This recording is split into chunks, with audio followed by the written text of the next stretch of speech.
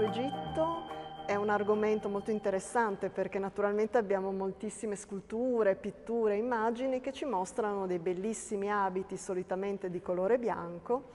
che eh, hanno fogge diverse per gli uomini e per le donne e possiamo anche riconoscere epoche diverse, tagli diversi, fatture diverse. Questo è molto interessante, lo vediamo già dietro di noi con queste statue, Normalmente gli uomini portavano un gonnellino, le donne delle tuniche che lasciavano a volte le spalle scoperte, ma vedremo che durante le epoche queste mode cambiano e in molti casi i vestiti erano anche unisex. Oggi vi insegneremo come fare in casa alcune fogge di abbigliamento egiziano per uomini e per donne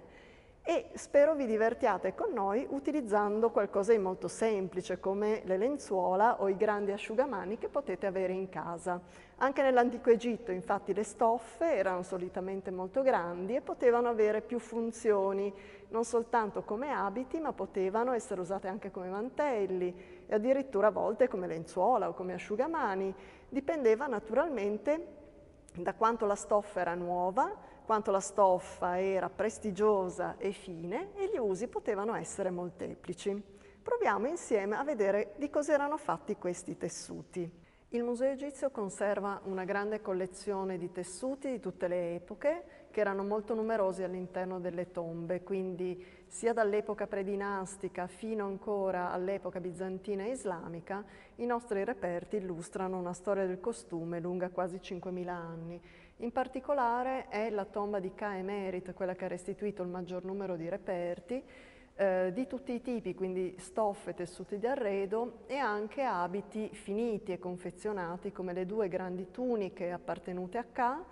eh, una più leggera e una di fattura un pochino più grezza, un pochino più spessa, che potevano essere anche sovrapposte.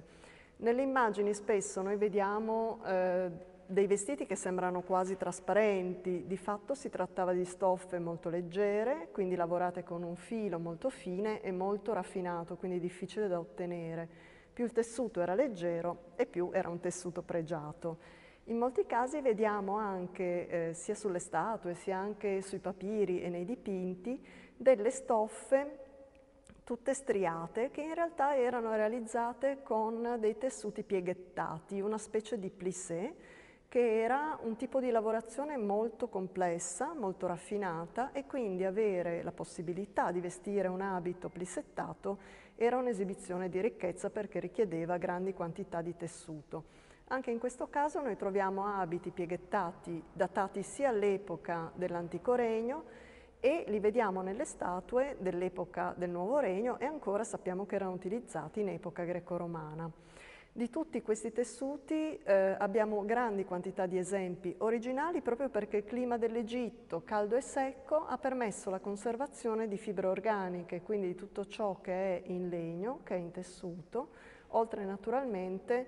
alle mummie e reperti organici. Le mummie stesse erano bendate con strisce, fasce di lino che erano ottenute dallo stesso materiale utilizzato anche per l'abbigliamento. Allora andremo a realizzare ora un vestito tipico del Nuovo Regno, molto complesso, che vediamo sia in statue e sia in immagini e che ci sembra un vestito formato da molte pezze di stoffa, mentre in verità è possibile realizzarlo con un solo pezzo di stoffa molto grande, quindi possiamo immaginare più o meno della grandezza di un lenzuolo, possibilmente di taglio eh, quadrato noi ce l'abbiamo rettangolare, cercheremo di sfruttare il più possibile il nostro taglio di stoffa. Chiediamo gentilmente al nostro modello di aprire le braccia in modo da passare la stoffa per la parte della lunghezza sulla schiena e facciamo bene attenzione a portare i lembi sul davanti in questo modo. Naturalmente se abbiamo un lenzuolo molto grande lo andiamo ad aggiustare in questa maniera. Prima di tutto andiamo a chiudere quello che formerà il gonnellino, quindi questa parte sotto viene portata sul davanti, mentre quella sopra viene panneggiata sulle braccia,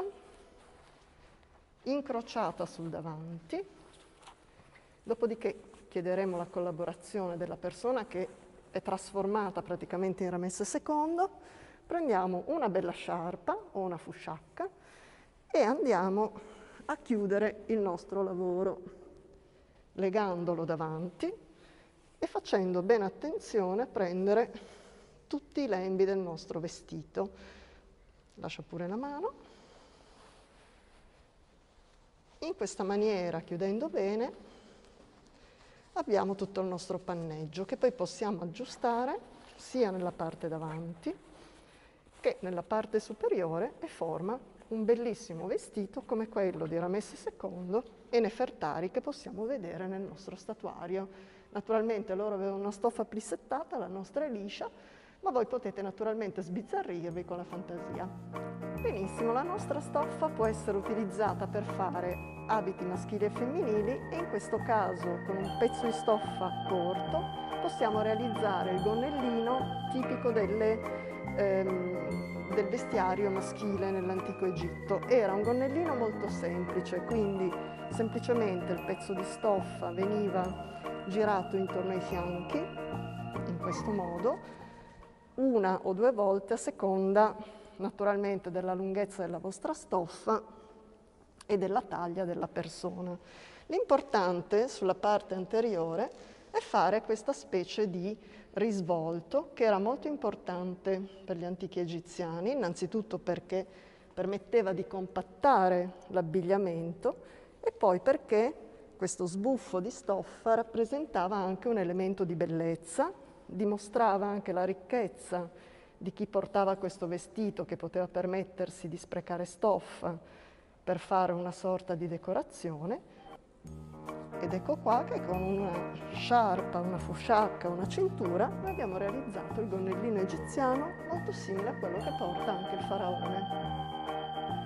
Un altro abito che possiamo realizzare con un unico pezzo di stoffa e che è veramente tipico di tutto l'abbigliamento egiziano fino ancora alle tuniche di epoca romana è una sorta di poncio. Si prende quindi un lungo lenzuolo come questo, lo si piega a metà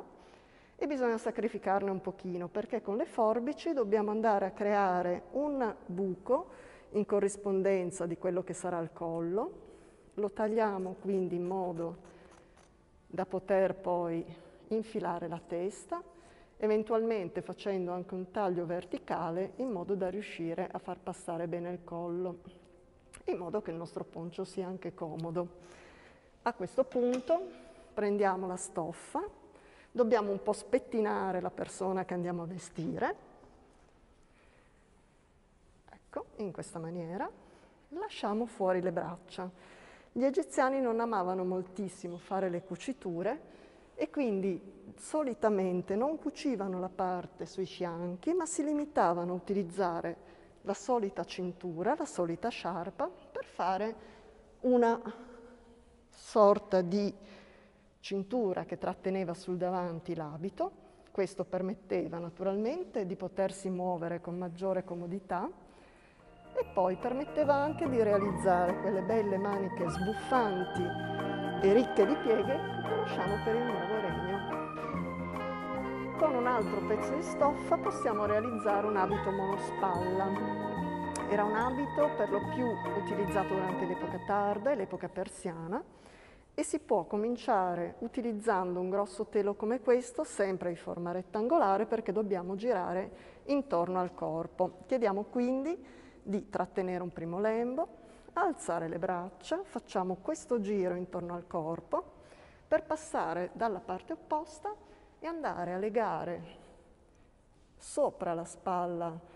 sinistra in questo caso, o a seconda di come preferite anche quella destra, il nostro vestito. È un vestito, come vedete, molto semplice che si può realizzare anche con un pareo da mare e che permetteva di far vedere, soprattutto su questo lato, una decorazione che in alcuni casi aveva delle frange oppure una piccola decoro. Questo, ripeto, è tipico dell'epoca tarda e continua a essere utilizzato fino all'epoca romana.